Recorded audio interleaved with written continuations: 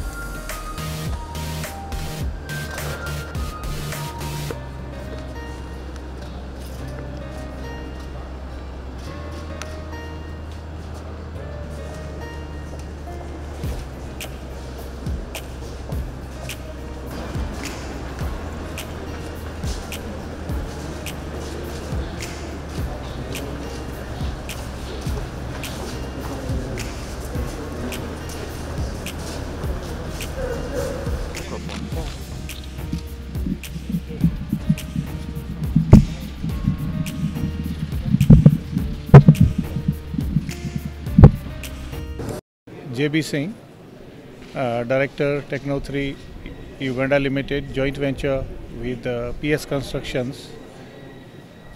I would like to thank His Excellency for giving us such a wonderful project here in the Soroti district, Soroti city, sorry. And uh, would also like to thank first of all for all of our colleagues, right from the Ministry of Local Government, the architects, the consultants, supervisors, and our staff who was on the ground day and night doing this wonderful job here. Okay, of course, we say that uh, you are sure that uh, when the name of construction comes, there are a lot of challenges all the way, right from the beginning to end. Every day is a challenge, every moment is a challenge, but we have to overcome them, we have to make them, to make our target what we want at the end of the day. So, in between this all juncture of two years, what we have found was the, the most challenging was uh, I think the COVID time which we have we have been in, all of us we know. So due to that, uh, I think some few months we we delayed a bit, but they say nevertheless. After all, we are at this point. Okay, and uh, I would uh, like to say also the challenges like when you know when you are on the ground. Many challenges come in like in structures in everywhere. You have to see the ground strata everything. Okay anyhow we faced some challenge in the beginning with the ground and all that but we overcome it in a very good way. With the help of our structure engineers with the help of our consultants and with the help of our uh, our, our engineers from the ministry.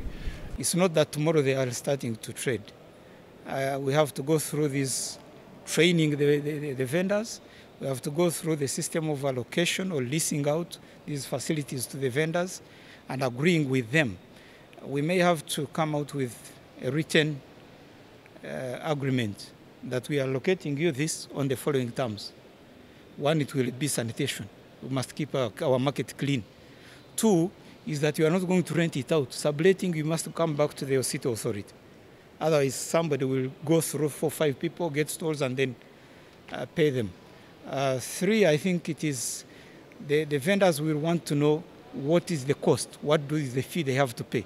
So it's good to have this in a form of agreement, and we shall do that. So um, I just want to caution a little bit that yes, we are commissioning the market today, but please don't come on Monday tomorrow and say we are here, we want to start using the market. We have to train you, we have to assign you the, the your stalls, we have to add in these other facilities I've been talking about uh, to make sure that by the time you come, we have reoriented ourselves in how to manage and live in this kind of environment. Uh, you will see that we have fire rails, we have um, a big uh, tank um, to make sure that we are able to manage any fire that comes up at every single point. We have um, fire service adequate here, but also secondly, we're not going to accept um, you know, with the charcoal. Uh, that can cause a problem. So we shall use uh, energy saving but safe methods of cooking. Um, we also, we've not taken a lot of trouble to make sure that the electricity connections are done properly. We may have to improve that tomorrow.